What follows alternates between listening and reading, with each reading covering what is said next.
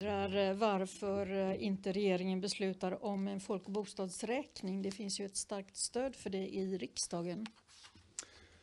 Ja, vi har lyssnat väldigt mycket på, på de som sköter det här och det, Sverige har ju aldrig genomfört en folk och bo, bostadsräkning på det sättet som har diskuterats.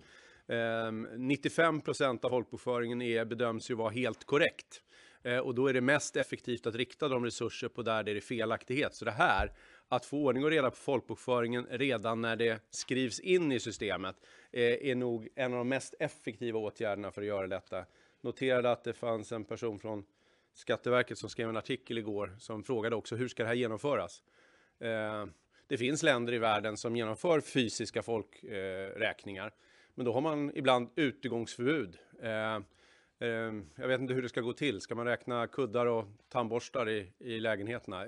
Det här är inte riktigt genomtänkt hur det ska genomföras i praktiken.